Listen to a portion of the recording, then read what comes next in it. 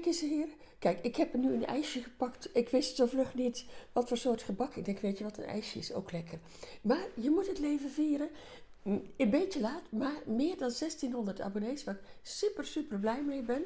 En uh, ja, dat ik ook weer een stuk gezonder ben, want je hoort het, mijn stem is bijna weer helemaal normaal. Dus uh, ik vier het leven dankzij jullie, ook dankzij jullie. En ik ga zo meteen verder en dan vertel ik waar ik nu toch in godsnaam zit. Uh, goedemiddag, leuk dat jullie weer kijken. Ik ben Corrie en ik vertel elke week iets over mijn leven, kleur, kleding, lifestyle en kringlopen. En je hoort het al, het is allemaal een stuk beter. Het is, nog, het is bijna weg. Nou ja, die zes weken die haal ik wel, dat is ook wel duidelijk.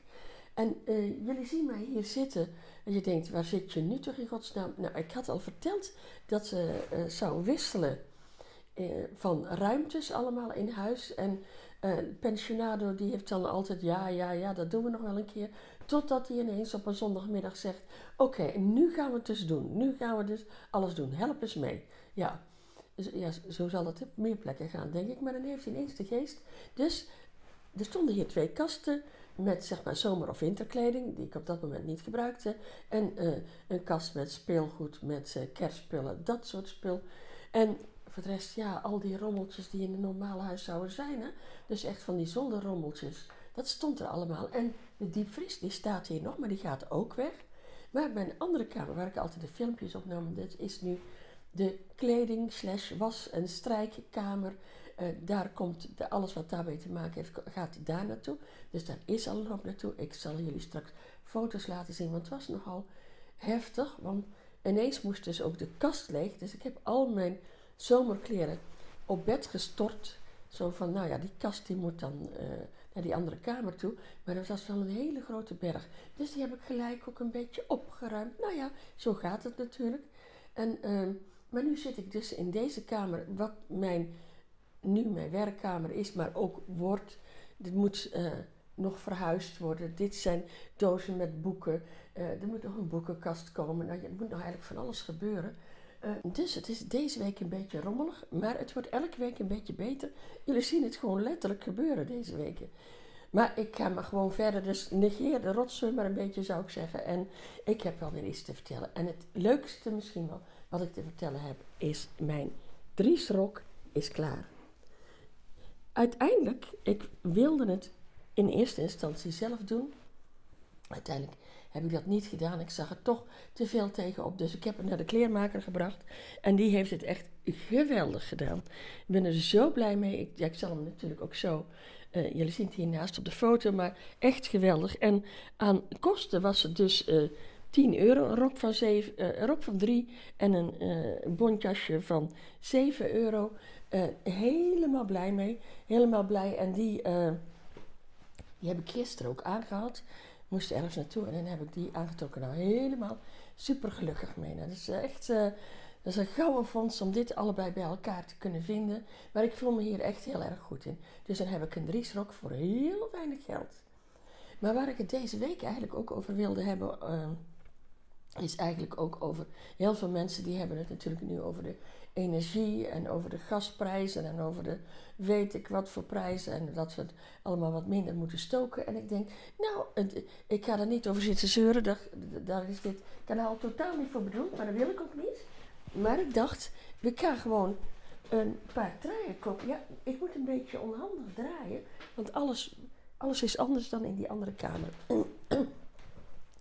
ik dacht, ik koop een paar truien. En ik, want truien is heel dikwijls wordt dat een beetje, ja, dat hangt zomaar een beetje. Dat ziet er zelden echt een beetje fashionable uit. En daar ben ik natuurlijk van. Dus ik probeer te laten zien hoe ik het doe.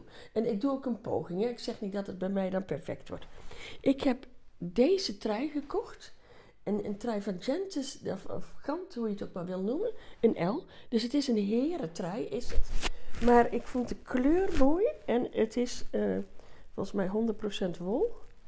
Dat meen ik wel. Dat het ja, ja, het is 100% wol.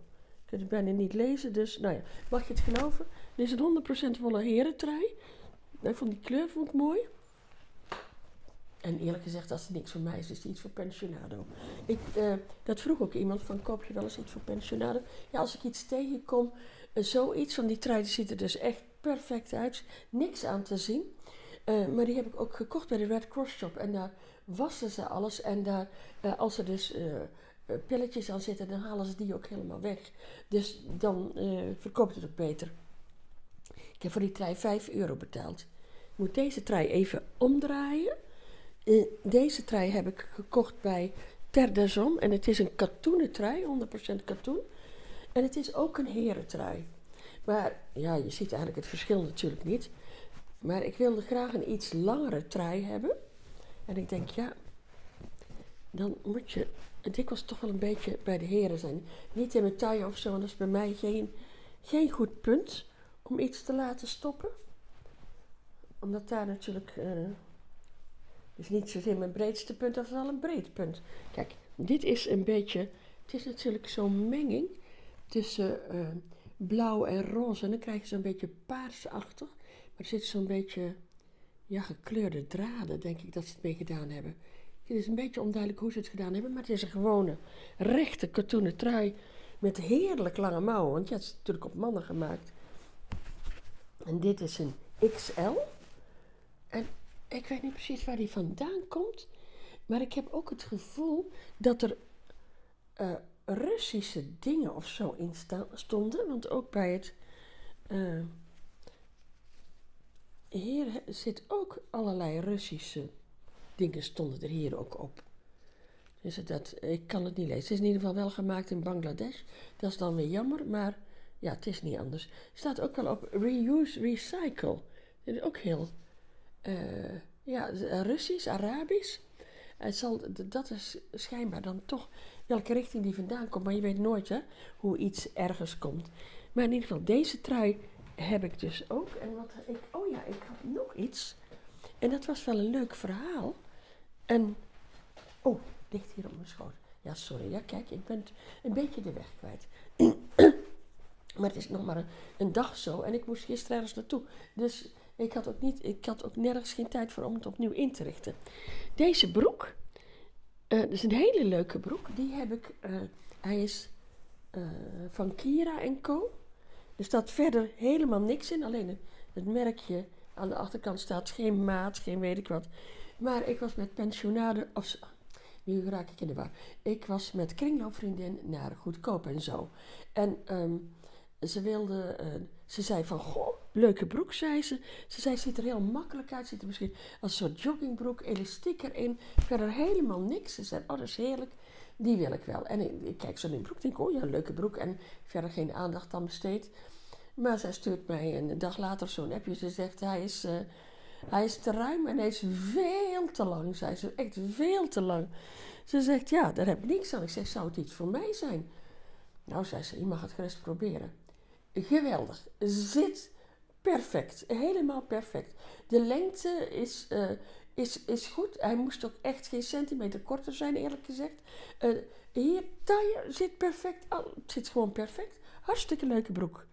En dan denk ik, oh, dan heb ik ineens een broek, want zoveel broeken heb ik niet. En eerlijk gezegd, ik had hem nooit gekocht zo op zicht, maar zo kom je dus eigenlijk ook aan iets. En die is natuurlijk heel leuk met deze trui, omdat deze ook van die roze spikkeltjes en witte spikkeltjes erin heeft. Ja, dat lijkt een beetje een tweet, maar dat is het niet. Maar ja, nou ja, in ieder geval een hele leuke broek. Ik heb hem gekregen, maar zij heeft er 3,50 voor betaald, want dat weet ik. Bij uh, Goedkoop en zo is alles is 3,50. Oh ja, en deze paarse uh, trui die was 4 euro. Dus die dingen, die heb ik eigenlijk. En daar wil ik dus iets mee doen. En dat wil ik dus laten zien aan jullie. Nou, dit is zo'n beetje wat ik jullie deze week wilde vertellen. Ik laat zo meteen een filmpje zien van de metamorfose in huis. Tenminste, zoals het er nu voor staat. En dat is nog een rommeltje hoor, dat zeg ik er wel bij. Maar oké, het is dan niet anders. En ik heb gewoon foto's gemaakt van, dan denk ik, oh dat is leuk om op de film te zetten, maar dat is al half gebeurd. Dus ik had van tevoren wat foto's en van daarna wat foto's. Ik laat ook de zolder zien, zoals ze nu een beetje opgeruimd is. Dat scheelt een heleboel, zul je wel zien. En ja, dan gaan we maar gewoon weer verder. Vanaf volgende week dus uh, de kerstdagen specials. En dan uh, cadeautjes bij de kerst... Uh, voor de kerst en of voor Sinterklaas. Feestdagen cadeautjes uit de kringloop. Uh, niet eten uit de kringloop, maar hoe maak je een leuk gedekte tafel met de spullen uit de kringloop? Wat draag je tijdens de feestdagen? Nou, elke week komt er zoiets aan bod. Dus dat ga ik de komende weken ga ik dat doen. Plus nog de oude challenges die nog klaar liggen, waar ik nog iets mee wil doen. Maar dat komt allemaal goed. Jullie zien het allemaal. Het is geen vast plan hier. Uh, ik werk het beste als dat zomaar zo'n beetje zo gaat. En het is misschien ook het leukste om te zien. Het is net als bij jullie. Alles loopt, er loopt wel eens iets mis en er loopt ook wel eens iets goed. Nou, dat vieren we dan maar weer. Hè?